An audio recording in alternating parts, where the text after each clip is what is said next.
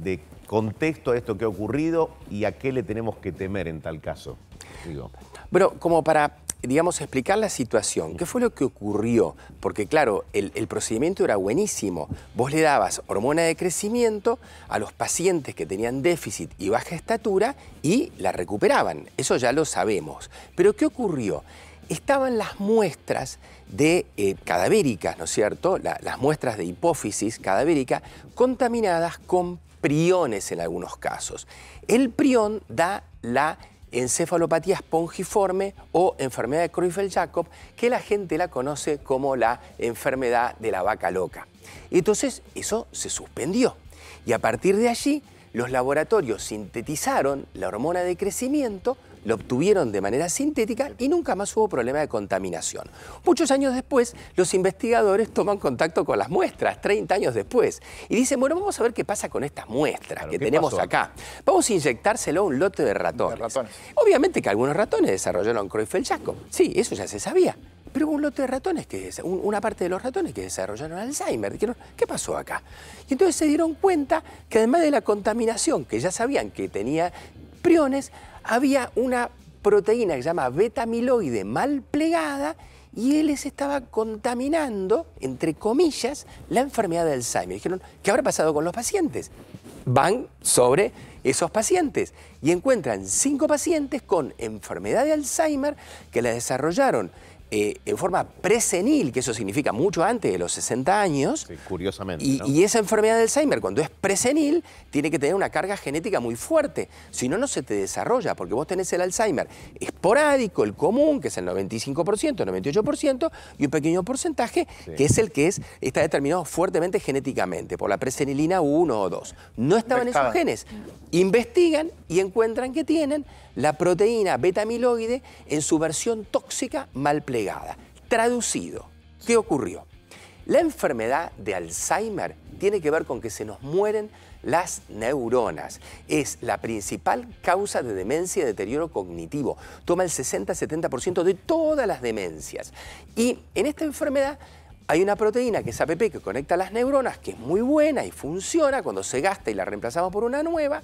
Lo que ocurre es que eh, la degradas de manera soluble, no hay problema, pero si la degradas de manera insoluble, se te acumula el beta-amiloide. Ese beta-amiloide ahora se vio que no solamente se acumula cuando lo metabolizas mal, sino que ese mal plegamiento se lo contagia a otra bien plegada y se genera un efecto dominó que acelera la evolución de la enfermedad. lo hace todo más Por tanto, este hallazgo, más allá de la cautela y de que la gente pueda tener miedo a algún tipo de contagio, que no, que eso no, no se va a dar en realidad, te explica un mecanismo diferente que no teníamos presente acerca de la evolución por lo menos de algunos tipos de enfermedad del Alzheimer. Claro, y esto puede ser utilizado para realizar o para desarrollar nuevos tratamientos. Completamente. O sea, capitalizado de alguna manera. Claro, porque esto que conocimos del mal plegamiento, que se traduce, por ejemplo, en el prión, a otra proteína bien plegada y que se, se transforma en priónica, se llama mecanismo priónico, resulta que se da con otras proteínas. igualmente, así como te digo una cosa, vamos al otro, porque recién justamente estuvimos hablando del implante de, eh, neuronal que estuvo supuestamente exitoso a través de la empresa Starlink em, de Elon Musk. Digo, eh, ¿cuál es el límite de la bioética? Porque vos pensás que hace 30 años atrás estaba haciendo este tratamiento que tuvo estas consecuencias. Digo, eh, Neuralink acaba de decir que implantó exitosamente un chip para eh, recibir o mandar información a través de las neuronas para comenzar a movilizar miembros que no se podían hacer. ¿Cuál es el límite? ¿Qué no, podrá bueno, Acá en realidad no hay ningún tipo de, problema de, contagio. Utilizaron un chip que se llama telepathy. Ese tipo de chip es muy interesante porque hace que con el pensamiento uno pueda manejar dispositivos. Uno puede manejar una computadora, uno puede manejar un teléfono, uno puede manejar cualquier dispositivo.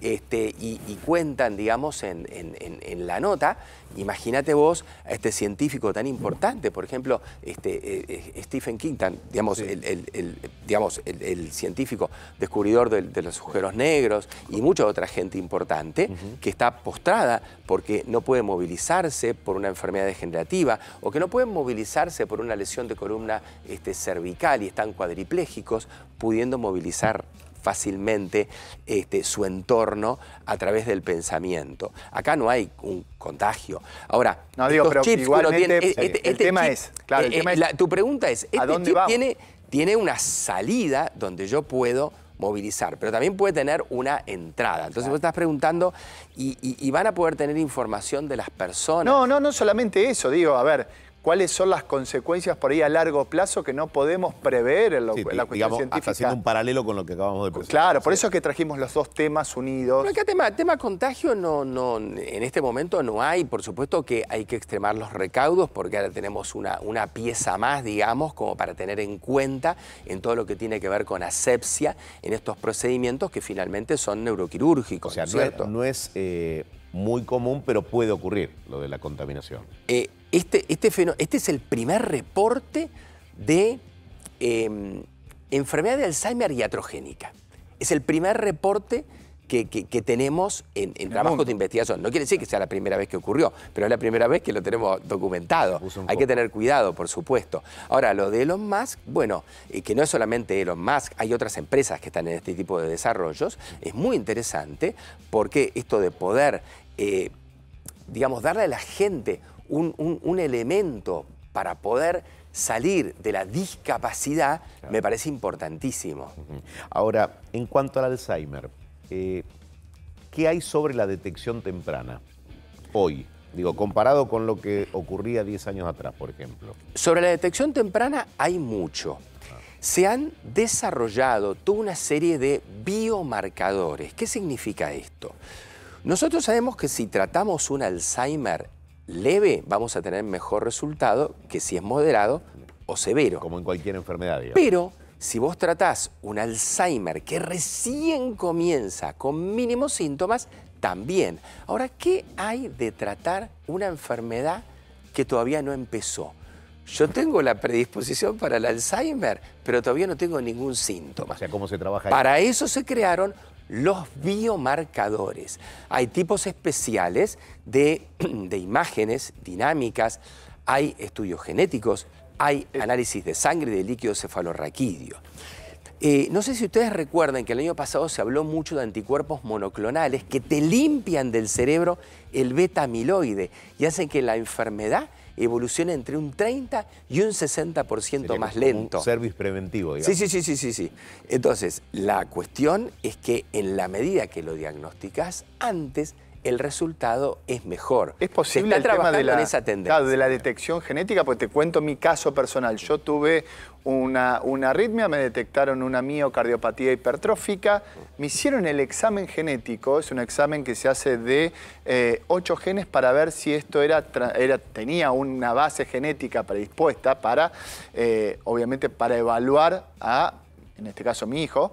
Eh, y digo, es interesantísimo. No es accesible, lamentablemente, pero es interesantísimo poder evaluar genéticamente si vos tenés una predisposición o no a tener una enfermedad tan severa y tan invalidante como el Alzheimer. En poco tiempo vas a tener disponibles paneles genéticos que te van a decir si vos tenés la predisposición por alguna mutación a la enfermedad de Alzheimer y además a otras enfermedades degenerativas del estilo. Y del otro lado vas a tener la herramienta terapéutica para prevenirla o atenuarla. Ese es el futuro.